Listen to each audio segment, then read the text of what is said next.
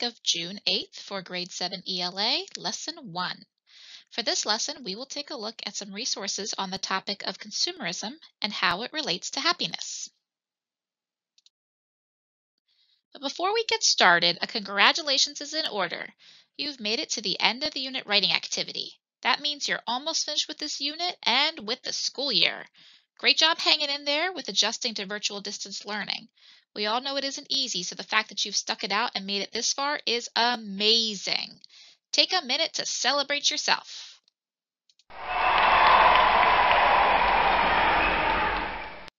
Okay, now calm down for a bit because there is still work to do. Here is your end of unit writing task. Throughout this unit, you have read many texts about consumerism and analyzed central ideas and supporting details.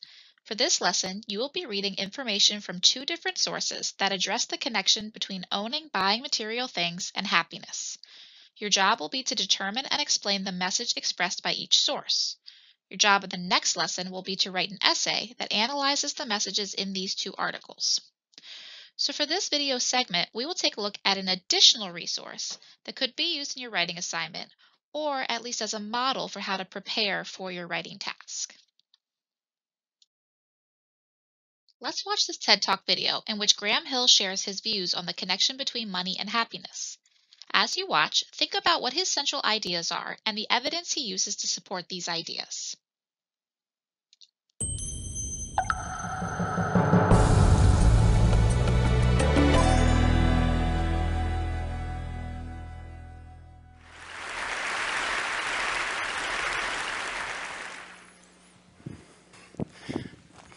What's in the box? Whatever it is, it must be pretty important because I've traveled with it, moved it from apartment to apartment to apartment.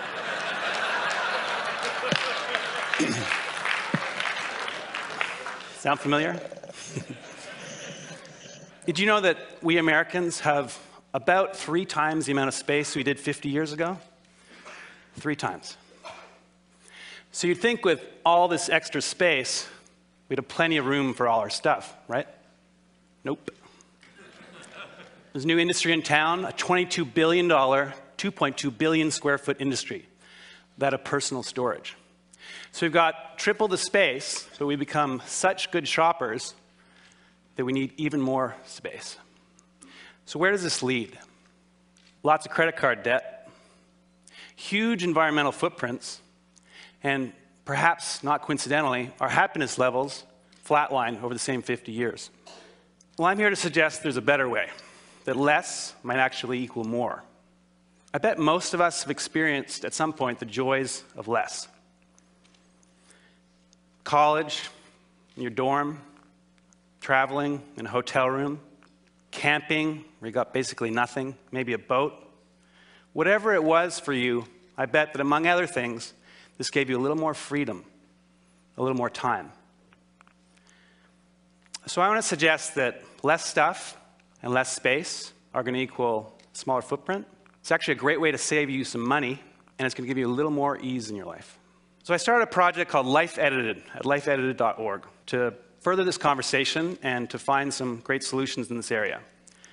First up, crowdsourcing my 420 square foot apartment in Manhattan with partners Mutopo and Jovoto.com. I wanted it all home office, sit down dinner for 10, room for guests, and all my kite surfing gear.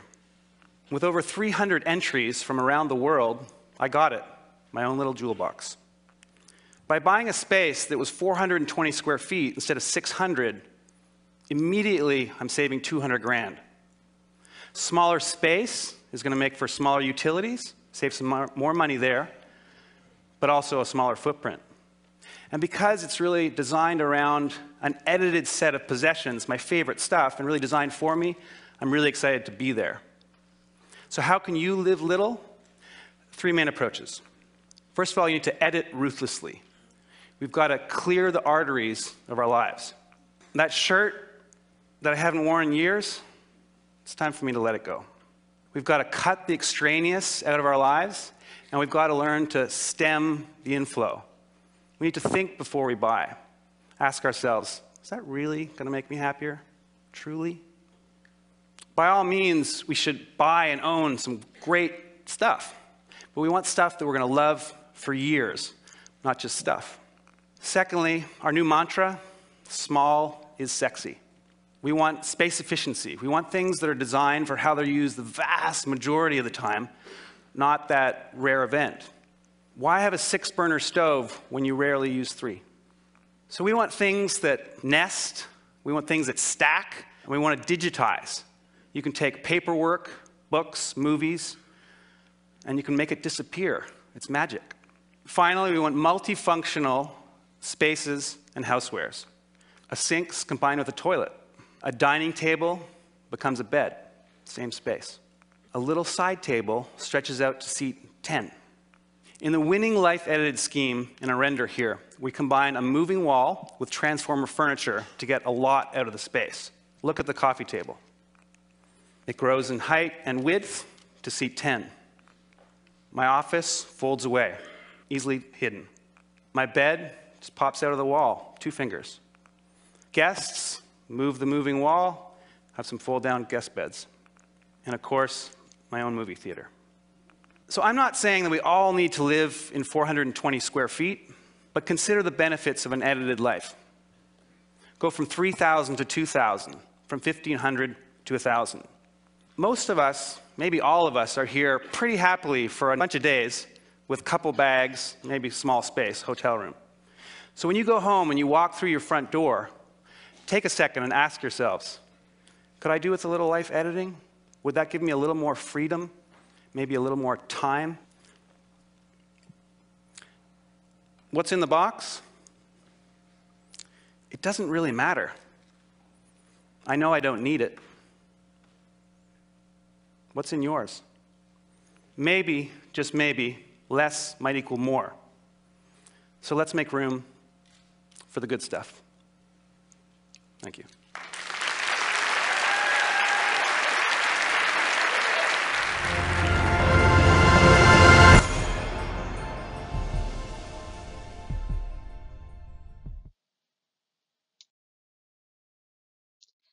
Let's take a look at some of the points that were brought up in the video. This chart is the same as what you will use to organize the information in the articles you will read this week. First, we zero in on the central ideas, or in this case, we're looking at the connection between owning, buying material things, and happiness. Graham Hill makes two related points in his video. First, more stuff equals less happiness, more debt, more CO2 emissions. And going along with that, less is more. So he is trying to communicate to his audience that the fewer material things that you own or that you buy, the happier you will be. And he does this using some related evidence and explanation. First, he talks about how Americans have three times the amount of space as they did 50 years ago. So even though they have triple the space, they still need more space. He talks about the use of storage units and uh, the fact that we have larger homes, etc. He asks the listeners to consider when they have been somewhere where they had less space and less materials. So, for example, when they're in a hotel room, or when they're camping, or maybe when they went to college and were in a college dorm. Those were all very small spaces uh, for which you needed very few things. And he argues that that gave you freedom and time to do the things that you really enjoyed doing. So again, connecting to that idea that the, the less is more, that there's smaller spaces, fewer things, gave you more freedom and time. He uses his example of his own 420 square foot apartment and some of the things that he had to do and the creative use of his space. And that by doing that, he saved himself some money and he found that he was emitting less CO2, so it was better for the environment. Details the three steps that he feels people could follow if they want to live a happier life with fewer material possessions. So he says to edit ruthlessly, to really think about what you own and what you buy and whether you truly need it. He says to think small, to consider what you're buying and how you might be able to minimize the impact that it has on your space. And then also make multifunctional. So think about ways that you could use one item for several different purposes. And he believes by doing all of these things, it will lead to more happiness because less is more. So all the evidence works together to support his argument that less is more, and he also serves to encourage the watcher or listener to change their habits and to increase their happiness. So now it's your turn. You will read two articles that express viewpoints on material things and happiness. As you read, you will annotate central ideas and the details that support those central ideas. And then after reading, you'll take those annotations and you will apply those notes to a chart that's very much like what we just did with the video. You'll notice that you have the same questions to answer, the connection between owning, buying material things and happiness, and then the evidence. And you'll complete that for each of the two articles. All of this will serve as a pre-write for your end of unit writing task, which you will complete in the next lesson in lesson two.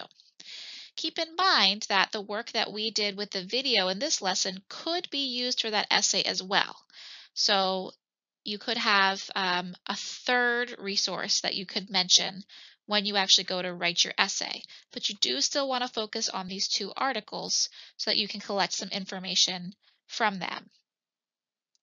So good luck and happy reading.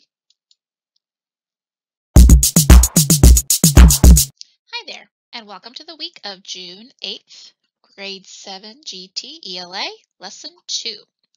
In this lesson, we will focus on revising the allegory you drafted for your end of unit writing activity. Before we get started, a congratulations is in order. You have made it to the last step of the end of unit writing activity. That means you're almost finished with this unit and with the school year. Great job hanging in there and adjusting to the virtual and distance learning. We all know it isn't easy, so the fact that you've stuck it out and made it this far is amazing. Take a minute to celebrate yourself.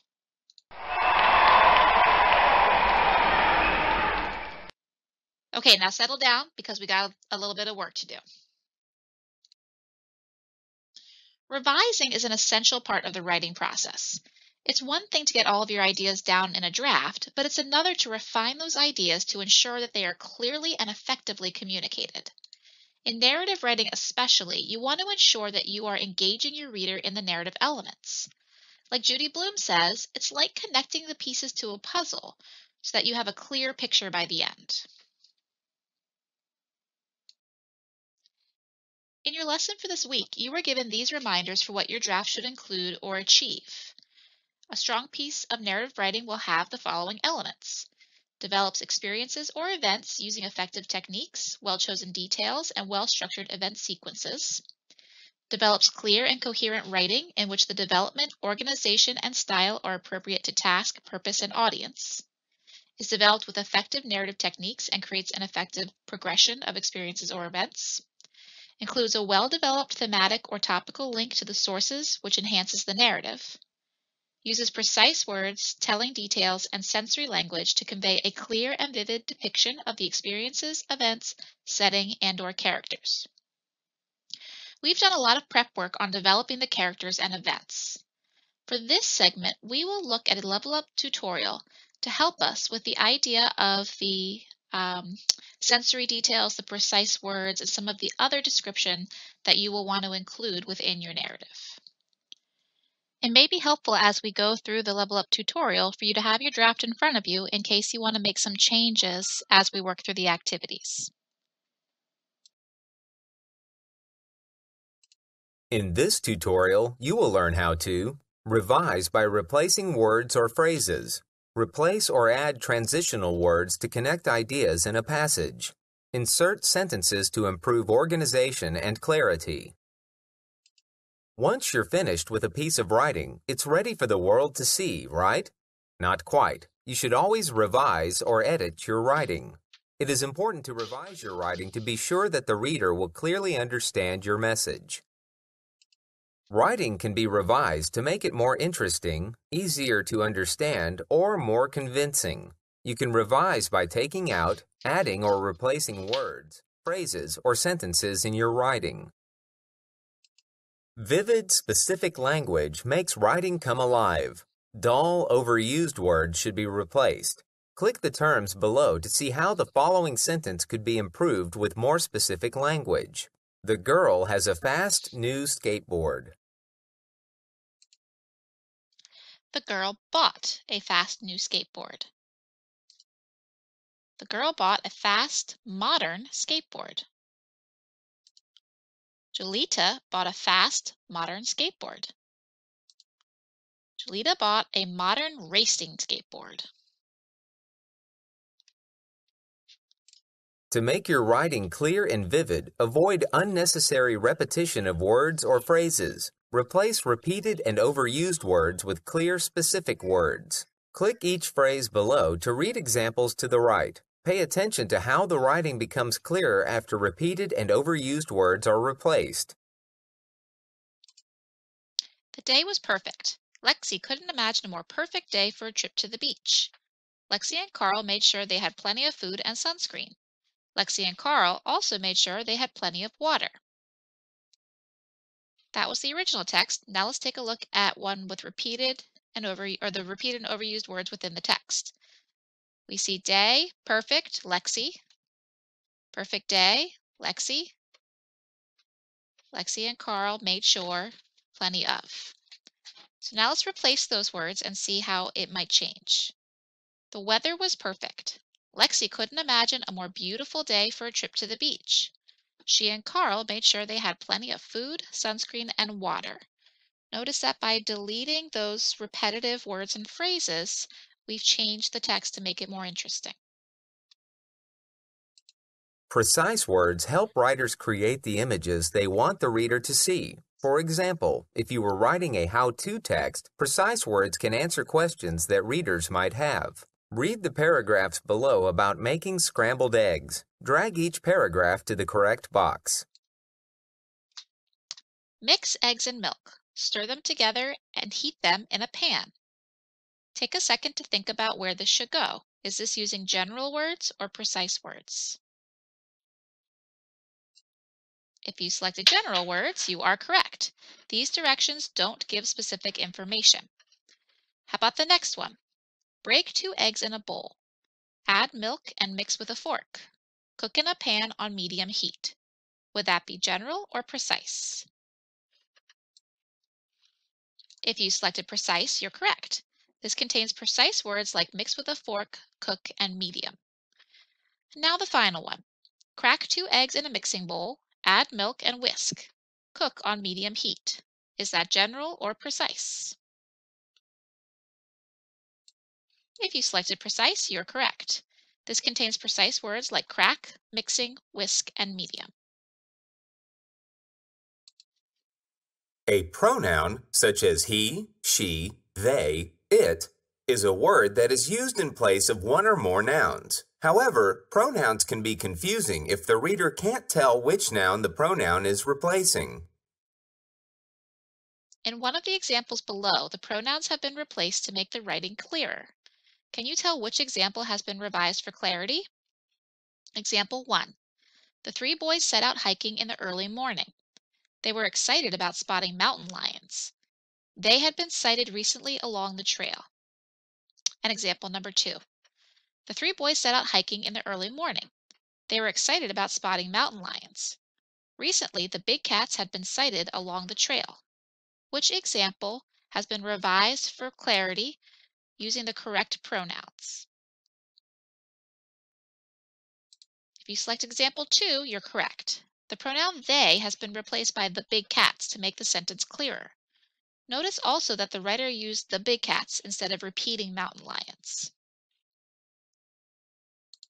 Make sure to replace cliches or tired overused expressions. They may have begun as imaginative expressions or figures of speech, but have become dull through overuse. Click each sentence below. Notice how the writer replaces each cliche with clear, specific language that gives the reader more information. Instead of using he's free as a bird, you could say he has no weekend plans. Instead of saying the students are busy as bees, you could say the students are working hard. Instead of saying the writing was on the wall, You could say she knew what to expect. And instead of saying he tends to cry over spilled milk, you could say he is overly sensitive. Using specific adjectives and adverbs is another way to improve your writing. Adjectives modify or describe nouns and pronouns. Adverbs modify verbs, adjectives, and other adverbs. Slide the ball up and down the scale to see how adding specific adjectives and adverbs can improve a simple paragraph. So this would be an example of a vague paragraph. We hiked up the mountain in the morning.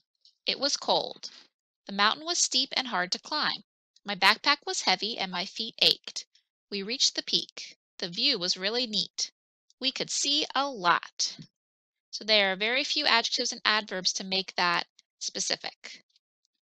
If we want to make it more specific, we could say this. We hiked up the steep mountain in the early morning. It was icy cold. The mountain was very steep and hard to climb. My backpack seemed heavier with each step and my feet ached. At last we reached the peak. The view was awesome. We could see so much. Notice that by adding some of those specific adjectives and adverbs, we're improving the paragraph. If we want to make it even more specific, we could say this. We began our hike up the steep, rocky mountain in the early morning just after dawn. It was icy cold outside and absolutely quiet. The path was extremely steep and difficult to climb. My backpack seemed heavier with each step and my tired feet ached. At last we reached the peak. The view was spectacular. We could see all around. Notice how that changes the clarity of the paragraph. Precise nouns, verbs, and adjectives can add clearer details. Specific adverbs can tell where, when, how, or how much. Click the words below to see how adding precise words can make the sentence, the dog slept, more interesting. We could add an adjective so that we say, the fluffy old dog slept. Or we could adjust the noun, the fluffy old collie slept.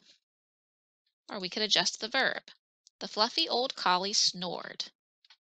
Or we could add an adverb, the fluffy old collie quietly snored. As this activity will show you, specific adjectives help to create an exact image. It's important to paint a picture for the reader that matches the picture in your mind. Three different situations are presented below. Click each one to see how one adjective can change the impression a sentence makes. So if we have the boys afraid of storms, we could add the adjective terrified. As the rain fell, the terrified boy ran swiftly. If the boy is planning mischief, we could add the adjective naughty. As rain fell, the naughty boy ran swiftly. Or if the boy heard a cry for help, then we could add brave. As rain fell, the brave boy ran swiftly. You've discovered how specific language, nouns, verbs, adjectives, adverbs, can make your writing more interesting and easier to understand. Now, use what you've learned on the previous screens to analyze these three passages. Which one uses the most specific language? The young German shepherd sniffed the ground, trying to pick up a scent. He was their best hope to find the missing child. The dog was ready to go. He would help look for the missing child. The dog smelled the ground. He looked around, too. He was trying to help find the missing child. Which of these is the most specific? If you select the first one, you're correct. This paragraph uses a lot of specific language. Young German Shepherd, sniffed, and best hope. Incorporating sensory details can also improve your writing. As you may know, sensory details tell what something looks, sounds, smells, tastes, or feels like. Drag the ball to see how adding sensory details creates interest and helps the reader visualize the scene. Here's the original paragraph. It was a hot day. I'd already been out in the sun a long time, pulling weeds in the garden. I heard a rattle in the tall grass close by. It was a strange sound. I'd never heard it before and I wondered what it was. Then I saw it. a rattlesnake not far from me, looking right at me. I was so scared. Let's see what happens when we add some sensory details. It was a scorching day. I'd already been out in the blazing sun for hours, pulling weeds in the garden. Sweat poured down my face and into my parched mouth. Suddenly, I heard a sharp rattle in the tall grass close to my foot. It was a strange, clear sound unlike anything I'd ever heard. Then I saw it a rattlesnake, coiled in a heap, looking right at me. I was so scared. Notice how we've enhanced our paragraph by adding those sensory details. Let's add a few more. It was a scorching summer day. I'd already been out in the blazing sun since early morning, yanking up weeds in the garden. Dollops of sweat poured down my face and into my parched mouth, adding to my immense thirst. Suddenly I heard a sharp rattle in the tall grass, inches from my foot. It was a strange, clear sound, unlike anything I'd ever heard. Then I saw it a rattlesnake, coiled in a heap, staring at me. I shivered in spite of the heat, and held my breath. I knew that if I moved it would strike, and it wouldn't miss. So we've made this paragraph even more exciting and more clear and more interesting to read by adding more sensory details. This is like the process of revision. We had an original paragraph, we added a few details, read through it, and saw if we could add some more. Now it's your turn. Be sure to take some time to ensure that the main narrative pieces of your allegory are in place. After all, the main point is to make a political or moral statement through the use of narrative. Hopefully your pre-writing process has prepared you enough for that. Once you feel good about those pieces, use what you've learned in this segment about word choice and description to make further revisions and enhance your storytelling. Before you write your final copy, you will want to look everything over one last time through an editing lens. Look for spelling, grammar, and usage errors. Remember what we learned last week about sentence variety and structure to make sure your writing flows clearly. Once all of that is done, you can write your final draft and you are finished. Good luck, happy revising and editing, and great work!